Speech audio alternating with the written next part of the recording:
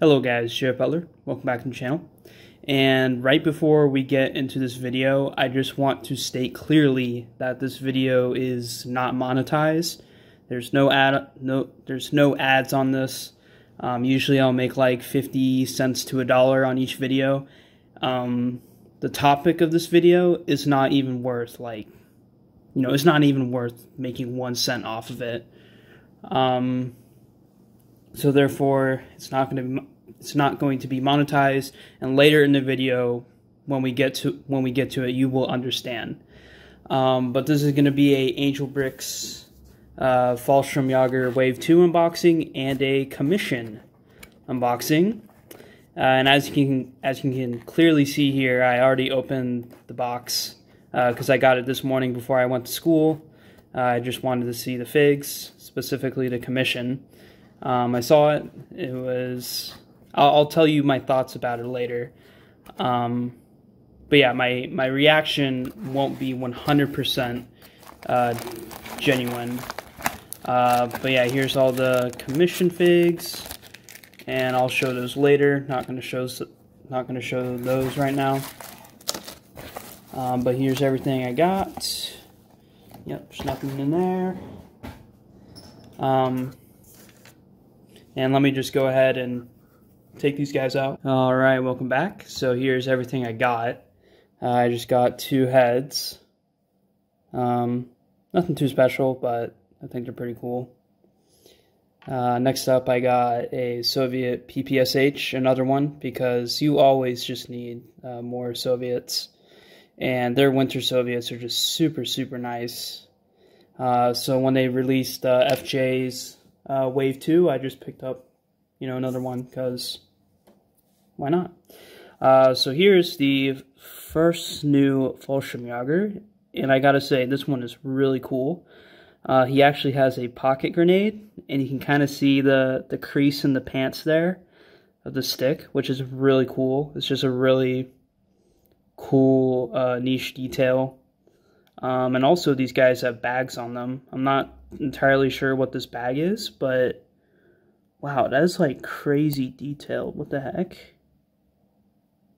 Wow, that's crazy. Um, but yeah, these guys are all co color shifted. They're on a light bluish gray.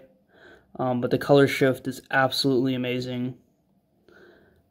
Um, so yeah, it looks really nice. Uh, I like to call this the pocket grenade guy. Probably my favorite body of this release. Uh, next up is just a standard uh, pistol with MP40 pouch. Um, nothing too special, just a slightly different loadout, really. And then next up here is a bandolier with a grenade and the uh, the satchel thing. I'm not sure what to call this, uh, but yeah, it's super cool. And by the way, this uh, Fallschirmjäger release, uh, Wave 1, Wave, Wave 2, was overall pretty legendary. Um, a lot of people bought Angel Bricks for the first time. And I gotta say, like, what a what a banger release. This one is gonna definitely be one of the better ones overall in the LEGO World War II community. And the last one here is just a basic uh, regular Kar 98 pouches uh, with this bag thing, which I'm still not entirely sure what it is. Um, but yeah, just really cool. Nothing too much to say about this guy. Uh, by the way, all these guys have a 360 degree printing. And let's go on to the hot potato of this video, and probably the main reason why people are even watching this. Um, so I did my first, actually this is my uh, second commission with Angel Bricks. Um, this was done with like four other people. Yeah, this was done with uh, four other people. Um, there's only four figs in the set, and there were uh, four sets made, so there's four figs each ever made. So only four of these guys, only four of these guys. And I actually have them all right here, and I'm, I'm going to go ahead and ship those out tomorrow uh, to my commission mates. Um, but you may be asking, if you don't if you don't know these figs, you may be asking, uh, or why why did you have to demonetize the video? Well, good question. Uh, this is this is um, not not this guy. This night that guy is not part of the unit, but he's real he's really bad. I'll talk about him later. Um, these three guys right here are all uh, Dirlewanger. Hopefully, I said that correctly. Or, um, the, I guess the easier way is the 36th uh, Electrician Div- Division, although they were only a division for a very short period of time. Uh, they were a, a brigade mostly um, throughout their history. Um, and this is probably the worst unit of World War II. Um, although you could argue the Japanese Unit 731 was uh, probably worse um, if we're just strictly kind of looking at unit formations. Um, but Unit 731 wasn't a, really a combat unit or anti partisan unit. Um, but I'll just call these guys the 36th. The 36th was originally kind of a rear echelon unit. Uh, they were anti-partisan, um, and they just did like rear rear security duties. Um, and I know that's a very light way of putting it. Uh, they did a ton of war crimes. Um, they're very notorious in Belarusia, um, and especially in Warsaw, in the Warsaw Uprising, just absolutely horrible. They just absolute disgusting brutality. Um, and it's a very touchy subject, and it's just absolutely horrible. Um, and if you if you want to know more about them, I encourage you to look them up. Not because there's some sick fantasy, but it's because it's important to know these things because we don't want to repeat history. Um, you can look up Mark Mark Felton's video. Uh, he kind of gives like a good uh, overview of the unit, uh, brief unit history. Um, so yeah, these guys were basically uh, like anti-partisan up until late 44 late 44 they put down the uh, slovak national uprising. And then after that they were uh, repurposed into a frontline combat unit. And then they were just a regular frontline combat unit until the end of the war in uh, 1945 and at the end of the war the division which wasn't really a divi- uh, division it only reached like 4000 men um, it was just absolutely decimated, uh, just destroyed in combat by the Soviets. Um, and what's really weird about the unit in 1945 is that it had regular army units, uh, Heer units attached to the division. So you can kind of do like if you had these figs, um, you can kind of do like a weird uh, mock where you can have like these guys uh, next to um, like Heer units. Um, and yeah, just you know, it's the end of the war. It's just really, really wacky stuff that's going on. Um, and also, I'm. This is gonna be another hard thing to talk about. You may be asking, Jay Butler, why do you own these figs? Why do these figs even exist? Well, it's a very complex answer maybe not very, but it is a complex answer because this top this topic is so freaking touchy, and rightfully so. I I totally understand why. Um, first of all, I'm not extremist. I'm not a Nazi, um, and I think using accusations like that, you need to be very careful because those are very strong.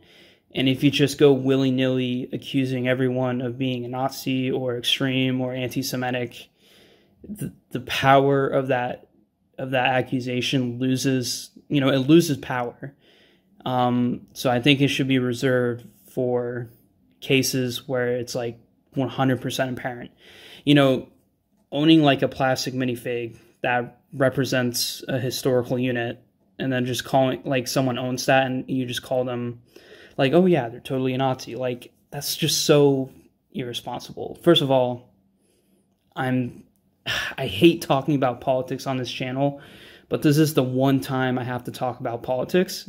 And sorry that this video might be so long. It just needs to be long so I can properly articulate my thoughts on this because this is just the magnitude of this is so serious. Um, politically, I, in American politics at least, I identify as like center left. So in Europe, that would kind of just be in the center. Um, I'm definitely not a Nazi. I don't hate Jews. I don't hate any groups of people. I don't want to persecute any group of people. I'm pro. I'm pro-choice. I'm pro-trans rights. I'm I'm just pro liberty. Um, I'm not like a total 100% libertarian or whatever. Uh, I know that has issues. Um, and if you talk to to the close people that I talk to on a regular basis in the community, you know, 100% they can they can say bad things about me. I am kind of an asshole sometimes, but 100% they will say like I'm not a Nazi. Um, and what I like what I like to do is I'm basically everything World War II. That's like my whole shtick in in in the hobby. I like to collect a lot of allies. I like to collect um, a lot of Germans. Uh, currently, I want to get into Japanese. Uh, I have a fair bit Italians, uh, but I really wish more Italians were made.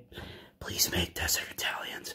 Um, but yeah, I just do everything World War II. Um, and of course, when you have a lot of figs, and especially a lot of German figs, you know, people you will tend to have these people that just come along and throw the Nazi ac- accusation at you.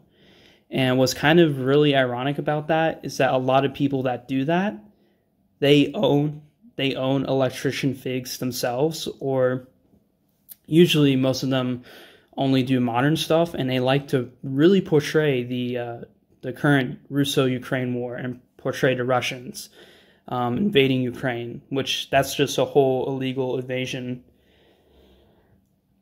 excuse me. Um, but yeah, I guess the German, yeah, the German invasion of Poland is also illegal. So not really, uh, I guess they're similar in that aspect.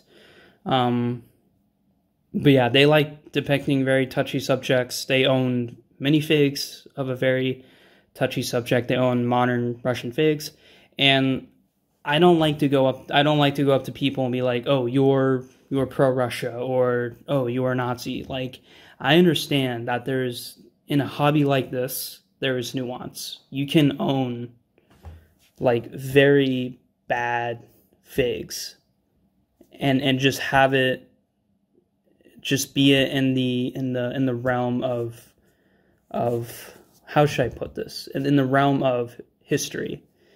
You know, these guys freaking existed and they are they are a unit and I am a overall a general World War II collector.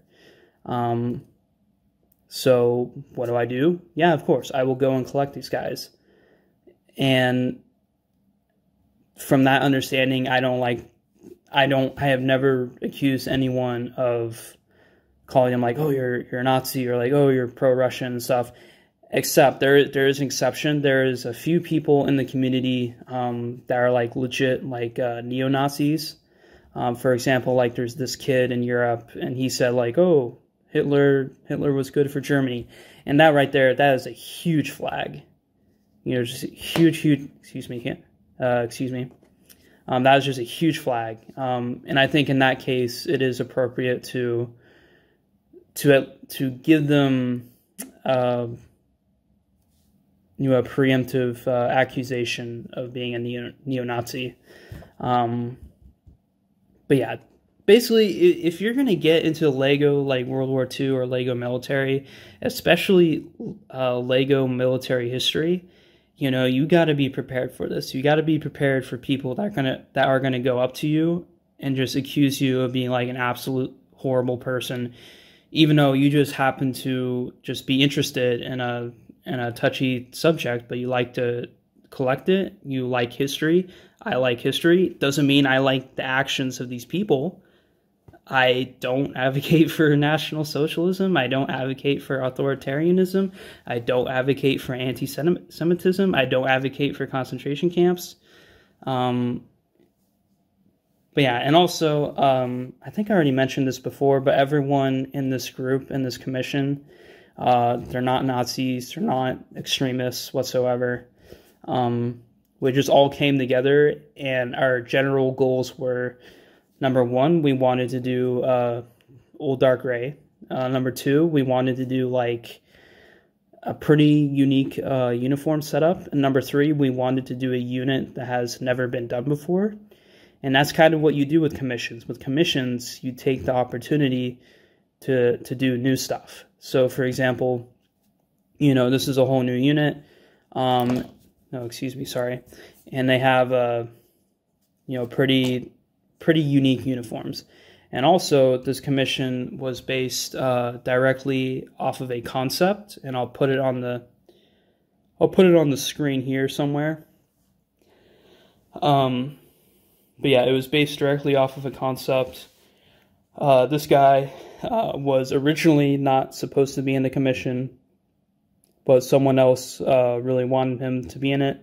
Uh, so this guy is uh, SD. He's like uh, electrician secret police, which is very bad in itself. And they did, you know, they basically ran the whole electrician intelligence and stuff um, basically like kind of coordinating and pinpointing where war crimes should happen and stuff is just you know very very bad um, and yeah hopefully hopefully i've oh gosh there's so much more i want to say.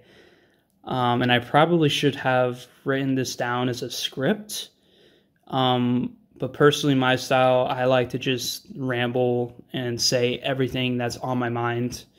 I just find that to be more genuine. Um, you know, my gosh, it's like 17, says like 17 minutes on my camera now.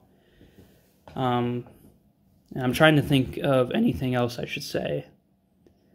Um, no, I think I think I've I've made it pretty clear what my actual positions are and personally why I think it's okay for me to own this. I think an actual neo-Nazi like owning these guys, like no, no, definitely not. That's like really messed up.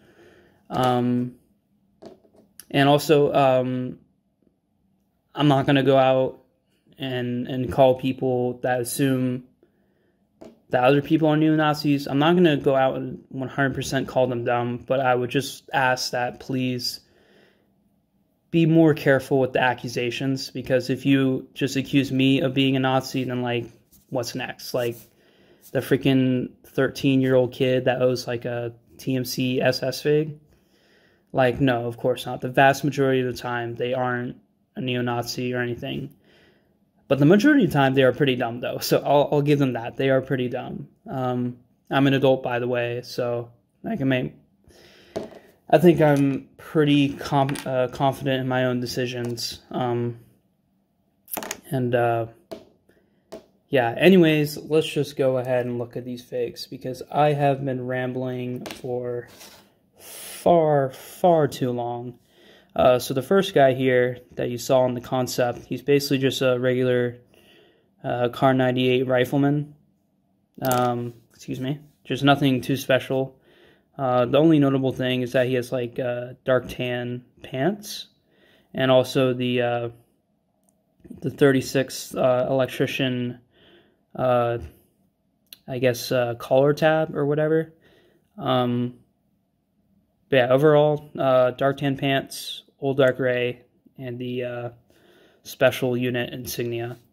So pretty cool. And I'm not when I say cool, I don't mean the actual like actions of the unit. I just mean the overall design because that was the goal of this commission, just to get like a unique unit and a and a cool design. Um, and also, I'd just like to point out that um, this is not really breaking much precedence. The only precedence being broken here is this unit being created, and now this unit exists in Lego form. Um, but I would like to point out that the Painter Man or the the Mustache Man, he was released as retail by TMC. Now, personally, I don't think that's bad, but you know, the the that we have already crossed the bridge. Let's say um, we have crossed the bridge there in terms of bad stuff being created. Uh, but next up here, this guy is just a, NCO MP40 uh, based directly off of that concept art. Um, and I gotta say, this guy is probably my favorite design out of the four. Um, definitely looks pretty uh, pretty badass. Um, he has a uh, dark tan M44 top.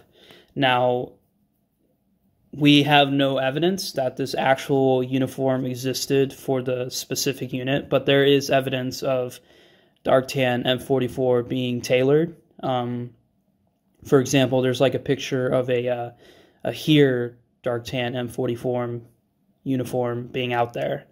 Uh, so it's totally plausible that this this uniform could exist. Because um, troops did do that, they did uh, custom tailor uniforms. As crazy as crazy as it sounds, uh, but yeah, he has the old dark gray pants, and that's pretty much it. Um, just a pretty cool combo, and he's probably my favorite. All right, next up here, uh, this is the third one. Okay, so this one uh, this one is probably the worst uh, body out of the whole commission. Uh, it's not. It's not just because of the the Asian peace symbol right there. Um, this body is ba- is based uh, directly off of the unit commander himself, uh, Oskar uh, Dirlewanger. Um, and if you look up his history, he's an absolutely horrible, disgusting person. Um, very disturbing. He he basically essayed um, a female minor. Um, and yeah, this is this is like why I'm not monetizing the video. It, this is just so bad, so so bad. Um, but this is his. I think this is his. This his. Excuse me. This is his um, exact body how it should be. Um, but yeah, but absolutely disgusting. Um, he was a part of the concept, uh, so we just had him made as well. Um, and right now, I don't have him. I don't have him made up. I just have like a generic head here. Uh, this is just like a random uh, electrician colonel.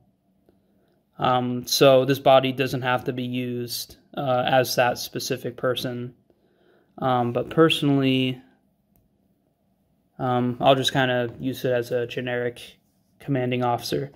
Uh, next up here, uh, the last one is the SD guy. Um, he's a captain. I think that's captain. Um, and that's pretty much it. He just has a bunch of stuff on him. Um, I'm not too familiar with all these. Uh, the person, the person that added this guy wanted all of this, so uh, but I must say it is a pretty, pretty spicy body. Um, and also, if people are not familiar what Old Dark Gray is, here's a uh, dark bluish gray body. And when you put them side by side, you can see the difference. So, uh, Old Dark Gray is a bit darker, actually, and it looks more like proper gray. Uh, while the dark bluish gray, this is the, the new gray that LEGO makes. Um, it looks more bluish. Um, so yeah. Uh, what time are we at? Oh my gosh, 24 minutes. This is absolutely insane. Um, but, but yeah, anyways, uh, I hope you guys enjoyed this video. Uh, I hope you found this commission, uh, I hope you found it disturbing, and I hope, I'm sure a lot of you found it very amusing. Um, excuse me, um, but yeah, I don't think I'll make a video. I had like this video idea of just talking about like, you know, like what what is how do I how do I phrase it? How do I phrase this? Um, what is okay to collect? Like I just had the, that video idea, and I kind of pretty much uh, touched on it here, um, because this is literally like you know, one of the worst figs you can ever make. Um, but for me, I will not be creating any war crimes, war crime mocks. Uh, that's just way too far for me. The only exception I find with that in creating or in depicting war crimes is if it's done very uh, respectfully and tastefully. Like you, you know, you give a lot of disclaimers and you just and it's basically just showing history. If you do it in a way where it's just showing history and and just making people aware of the horrible things that that has happened, uh, then I think that's okay. But it's really tough to do that. Um, and you know, of course, there is a few people in the freaking community that have done war crime war crime mocks, and they haven't really done it in the most respectful way possible. Uh, so it's really disgusting. And personally, I have no interest in going there. I'm not. I'm not going to do. Sorry for laughing at this. I'm not going to do a Warsaw uprising mock. Um, I might. I might eventually, where it's just like the regular fighters, but I will not do any uh, civil, civilian casualties or anything because that's just absolutely. That's just a big no. Um, but I will probably eventually use these guys for, uh, like 1945 uh, Eastern Front battles, um, which is what what these guys are kind of set up for, anyways. Um, but yeah, anyways, I hope you guys enjoyed this video. This was just a long a long ramble, uh, pretty deserved in my opinion, uh, and I hope you enjoyed. And uh, I might, if, if the comments get bad on this video, I might disable the comments, but I will I will keep them open initially. And if people are pretty reasonable about it, um, then I'll I'll leave them open. Uh, but yeah, anyways, I hope you guys enjoyed enjoyed this video, and I'll see you next time. Bye bye.